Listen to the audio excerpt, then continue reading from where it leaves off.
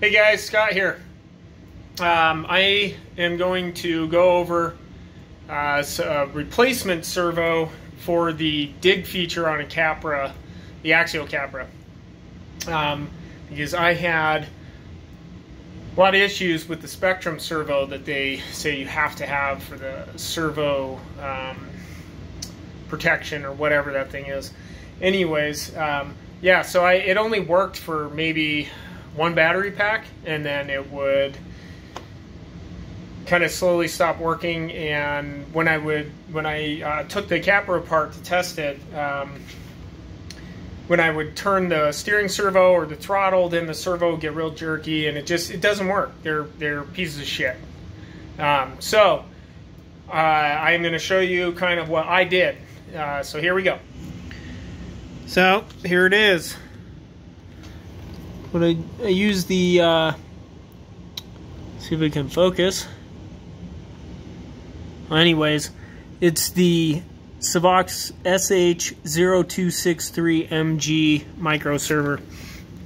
Um, yeah, so I just used the actual um, servo horn piece that it came with.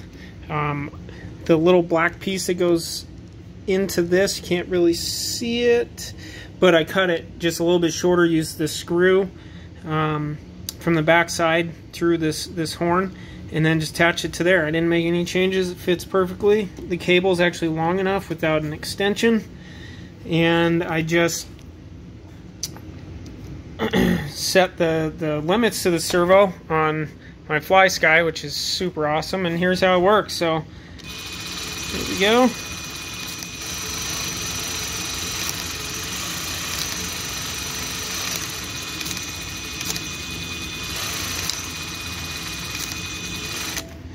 And you can see when I when I switch that from four-wheel drive to dig, um, this is not really lifting. And so that's why I think I'm okay without the servo protector because I've had it on for a while and just been switching it back and forth, back and forth, and it's still not even really warm. So there it is again.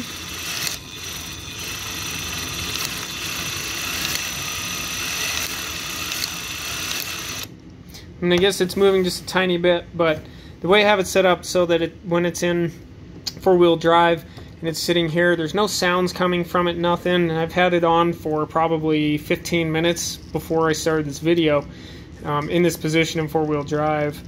Um, and it's still not even warm. So when I'm using dig, which is, you know, maybe for a total like three minutes out of two hours maybe, um, you know, where it's it's locked back. Um, you know, if it warms up a little bit for 30 seconds, it doesn't matter. It's, I'm not going to burn up the servo. So screw that Spectrum piece of shit servo. You know, I had it all set up, everything with the servo saver, and it just doesn't work.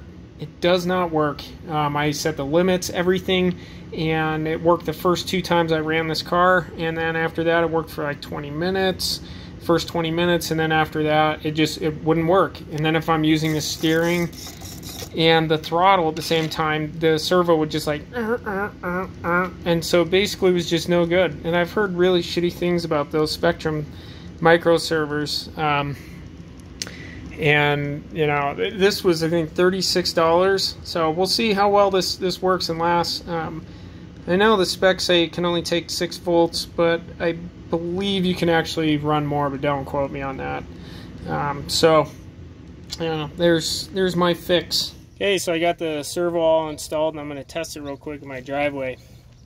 So, before I show you, um, I have never been able to drive, engage the dig, and release the dig and continue forward without having to reverse it slightly in order to get it to disengage dig. So I did test this just a second ago before I started filming and it, it does work. So I'm going to show you right now. So I'll go forward, engage dig, continue, disengage it, and it just continues without having to reverse it just slightly, which is amazing. So I'll do it in a turning uh, radius as well. So forward, dig, without pressing uh, reverse, disengage it, and it just drives forward.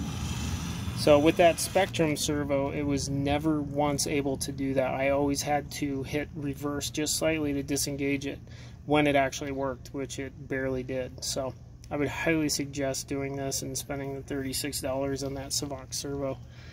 So thanks for watching, guys.